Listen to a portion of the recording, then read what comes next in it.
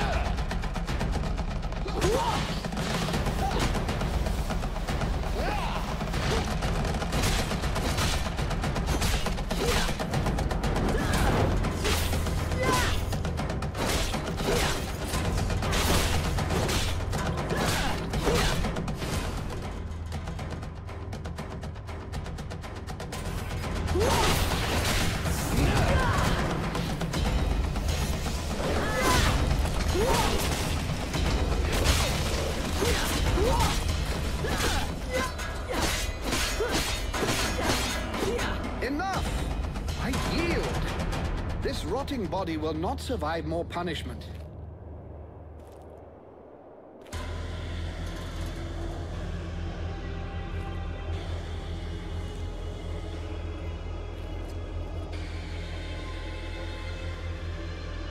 In all my 6,000 years, I have never witnessed such power. You seem to be as unique a being as I am. What is the source of your power? What are you?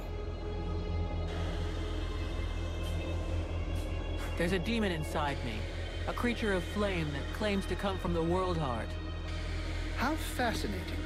Even if the term demon seems to lack precision. Nonetheless, I must confess that in spite of my... At last, something interesting.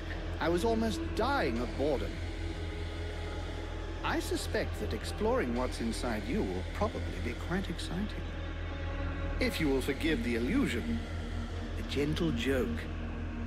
Never mind. At any rate, I'm coming with you. Ha! See? I did it again. Oh, come on, do lighten up. So how shall we begin our newfound friendship? I have to go into Carolthath. But of course, there is no finer guide than my...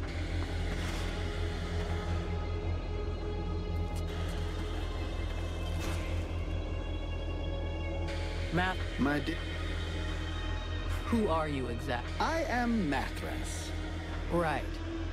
So, First of all, I don't have any pals. I'm a little too old for that. Secondly, I find your implication that I'm associated with them most unpleasant. I have nothing. I've been around for over 6,000 years, and I'm still very much alive, thank you. 6,000 years old? You're too kind. Very delicate of you to say so.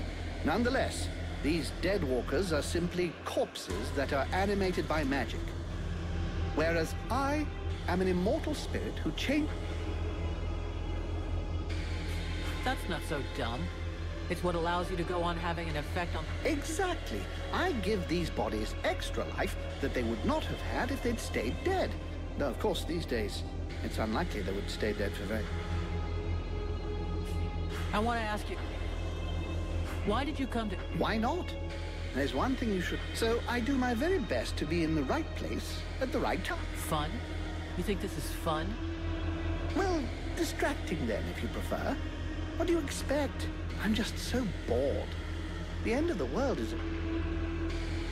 What do you know about the... Apart from the fact that they're an incongruous mass of corpses with appalling bad taste that are animated through the use of magic, I can tell you that the power necessary for their creation, and to keep them working, is far beyond the magical abilities of it. And since it's obvious they're incapable of any decision-making or strategy, all of which suggests the Ice Lords, something I grant you quite difficult to believe when one saw them start out at the same pitiful level of incompetence as their brothers, the Red Scribes. In 6,000 years. Honestly? Well, no. You are, as you might put it, fucked or at least the mortals seem to be. But you carry something within you that may modify things somewhat. And it is this seemingly insignificant detail, this flap of a butterfly's wing, which may eventually change the apparently... This demon, as you call it, has never been... Consequently, and in spite of the evident futility of such a sentiment, there may be grounds for you to feel a slight glimmer of hope.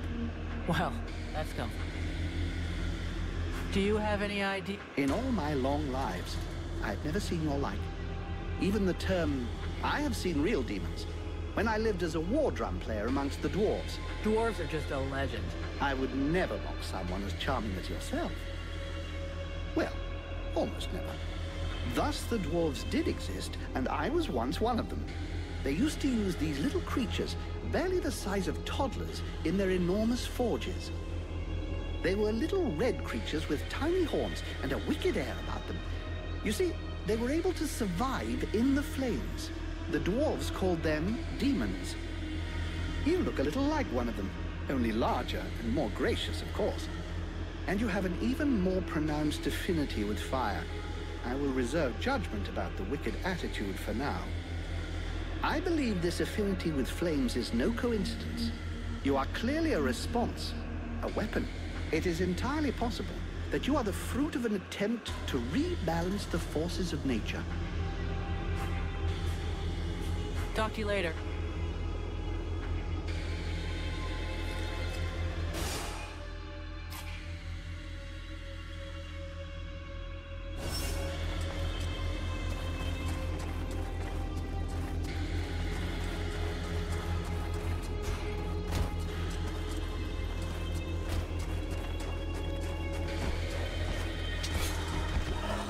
Whoa!